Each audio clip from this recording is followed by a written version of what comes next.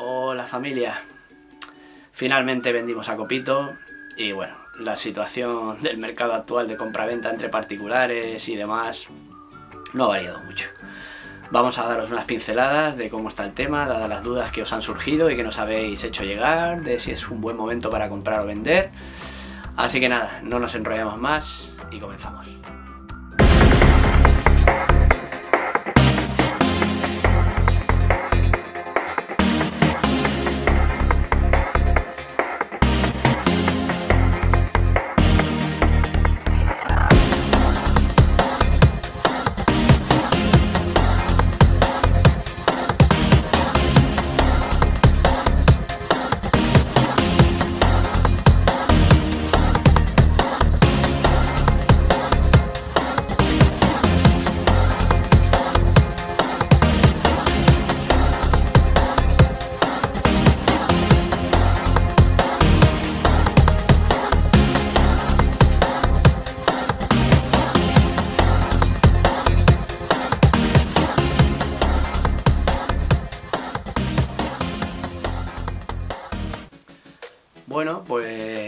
Efectivamente, eh, hemos vendido a Copito, se ha ido para tierras valencianas con una familia muy maja y bueno, eh, la verdad es que fue un momento bastante triste eh, verlo irse con, con, otras personas, aunque bueno, cuando haces una compra-venta, en este caso una venta, pues es lo que hay y no hay más remedio que una vez tienes el dinero en la cuenta, pues desprenderte del bien y que otras personas lo disfruten.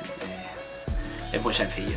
Aún así, los que cuidamos nuestros coches, le cogemos mucho cariño, pues bueno, pues duele un poquito, la verdad. No lo voy a negar que fue un momento bastante delicado a nivel emocional, pero bueno, ya pasó. Está con buena familia, está con muy buena gente y bueno, les deseo que lo disfruten como yo lo disfruté.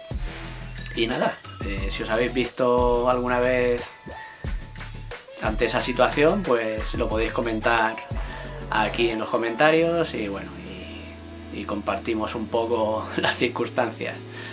Así que bueno, como os decía, el mercado mmm, no ha variado mucho.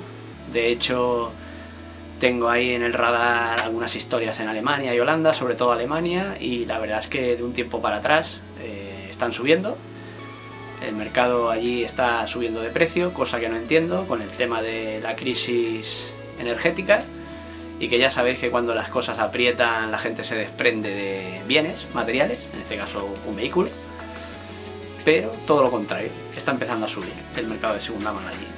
Probablemente tenga los mismos problemas o más, aunque ellos son grandes fabricantes y tienen una gran parte de, de lo que se vende en Europa, pero sinceramente de unas semanas para atrás estoy viendo que están subiendo. Así que vamos a seguir con, con Blanquito y bueno, eh, Es un mecherito y bueno, de momento mmm, mi consejo a los que me habéis escrito preguntando que cómo lo veíamos, no es época de comprar, sinceramente. Si podéis aguantar y esperar un poquito, hacerlo. No compréis todavía. Vender sí, vender si por lo que sea tenéis un coche por ahí que no usáis mucho, que no le deis mucho uso y queréis sacarle un rendimiento neto, que se lo vais a sacar, seguro. Si el coche está medianamente decente con sus mantenimientos y sus demás historias, ya os aseguramos desde aquí que, que le vais a sacar rendimiento neto seguro. Pero comprar, si podéis aguantar, esperaros un poco, Fijaros ahora el tema medioambiental, por ejemplo en el caso de Barcelona, que era la ciudad más restrictiva de, de, España, pues que ahora como el año que viene hay elecciones, pues bueno, se han suavizado las restricciones que iba a haber en el 2023. Cuando pase el 2023 ya hablaremos, pero de momento eh, la cosa se ha suavizado y se ha postergado. Así que como veis se ralentiza el, tema de forzar a vender. Así que esperar. Es el consejo que os damos, esperar. Y bueno, eh, para que os hagáis una idea eh, de lo que costó el año pasado el Corsa, eh, a este año, sin contar las modificaciones que se le han hecho a Blanquito, estamos hablando de un beneficio, esto es real, viendo los precios de mercado por kilometraje y tal, porque el coche tiene ahora 46.000 kilómetros. Estamos hablando de un margen neto de 4.000 euros. 4.000, ¿eh? No exagero, ni para arriba ni para abajo, neto, 4.000 euros. Otra cosa son las modificaciones que le hemos hecho, que reducirían bastante ese margen, pero aún así habría margen. El mercado está loco, está hiperinflado y, como ya decimos, aguantar. Así que, bueno, y luego otro tema, la entrada de los chinos. Si os habéis fijado, eh, están metiendo la patita. Yo recuerdo aquellos tiempos en los que unos señores coreanos, por ejemplo Kia, entraron en el mercado europeo y la gente se reía y decía, qué coches más feos, qué interiores, qué demás, esto no vale para nada. Bueno, ya lo habéis visto, los modelos que tienen actualmente y a cada modelo que sacan tanto ellos como otras marcas coreanas eh, lo bordan. Precios más o menos asequibles, normales, de generalistas, pero que no, no son como ahora las premium, que ya se han disparado y ya es una cuestión de estatus. Ya vamos hacia un mercado de estatus en el que o bien tiras de un renting elevado, que es lo que también a mucha gente, o directamente haces un, una ostentación visible llevando un coche de 40-45 mil euros para arriba. O sea, eso no se lo puede permitir un hogar humilde, no como antiguamente que bueno, apretando por aquí y por allá podías conseguir ofertas de 30, 34, aunque estuvieran peladetes, pero hoy en día eso se ha acabado y ya la marca ha optado por subir, elevar precios que ya lo había hecho el año pasado y anteriores, no es una cuestión ahora de de cómo estamos, la situación que estamos, sino que ya había subido hacía ya tiempo y bueno, es un tema ya de estatus, de diferenciar cliente. El típico cliente que considera que llevando un cuatro aros o una estrella pues es superior y bueno, aquí entraríamos en las discusiones de si, bueno, es que tú no sabes lo que es llevar un Mercedes, tú no sabes lo que es llevar un, un Audi y bueno, y también entraríamos en las discusiones de tú no sabes lo que es pagar un cambio de un clase C automático y lo que conlleva y el dineral que te cuesta, cerca de 4.000 euros y bueno, y con unos kilómetros que para un diésel son ridículos.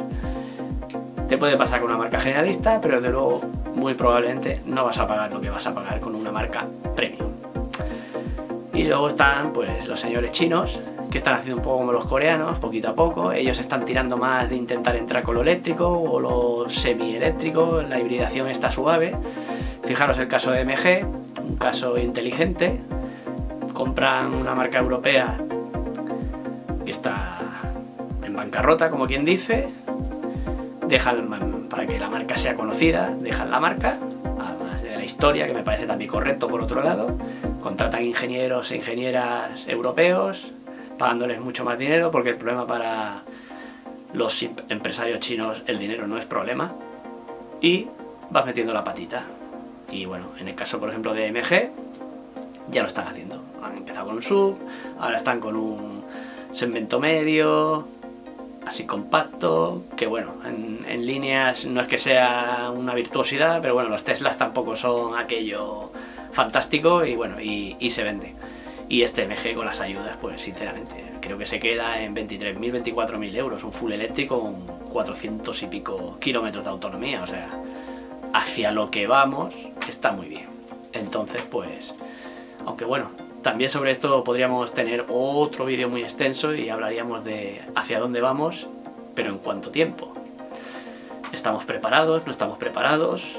Creemos que no estamos preparados todavía, pero ya está ahí la Unión Europea pisando y apretando el acelerador para que se conecten y se instalen electrolineras y demás historias. Y bueno, que el proceso sea más rápido.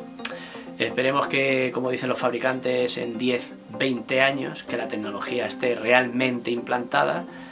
No, bueno, por otro lado sería interesante, pero que aparezca otra tecnología y toda la inversión y todo lo que se haya hecho, pues sinceramente no haya servido prácticamente para nada. Y la gente si no ha tirado de renting, eh, haya perdido su preciado dinero.